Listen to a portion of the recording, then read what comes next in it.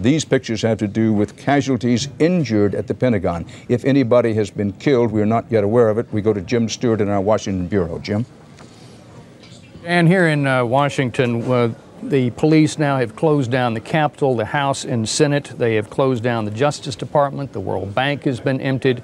Uh, we are told that the Metropolitan Police Department of Washington now is on full alert with the anticipation that there could be additional targets if, in fact, someone is targeting uh, sites in the nation's capital.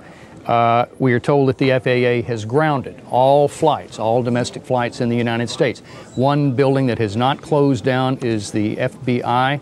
The FBI has established an emergency command post uh, in the center of its building. It's a, a, contained area that is presumably safe from bombs, they believe, and uh, FBI officials have been there now for the last two hours trying to sort out exactly uh, what is going on.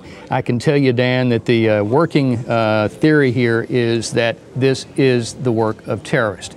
They specifically believe this is the work of Osama bin Laden.